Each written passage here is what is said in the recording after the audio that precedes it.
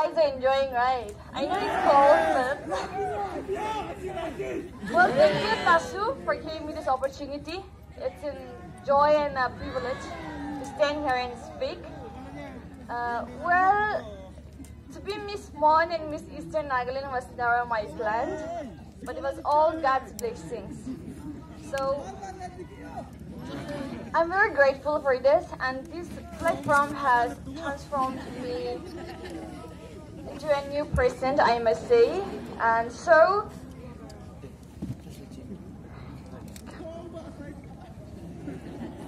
I,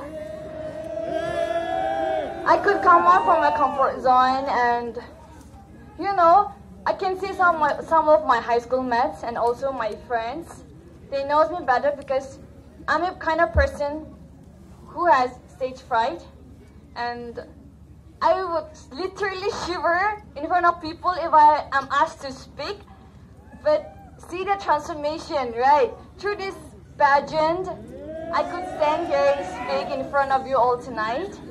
Well, uh, recently we had our Tamkong Jubilee, so there I spoke about my perspective on pageants. So even here, I would like to share a little bit.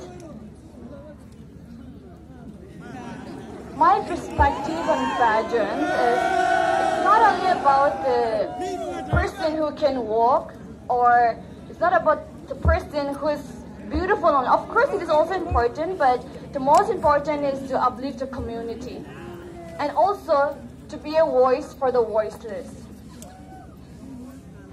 It is a platform where we can showcase our talent, skills, and many more. Basically, pageants are a means of polishing and sharpening one's personality.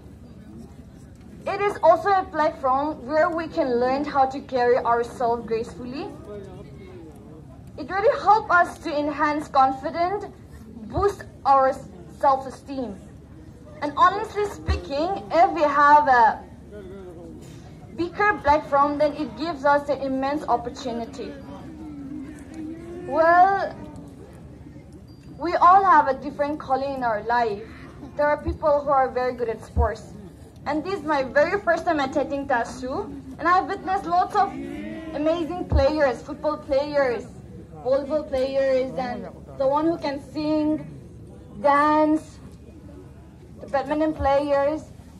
So I just want to encourage everyone that why we have to wait only for TASU, right? We can also participate in other states. Why we have to compete with our, ourselves only, within our areas, right? So I want to encourage everyone that we will not stop here only.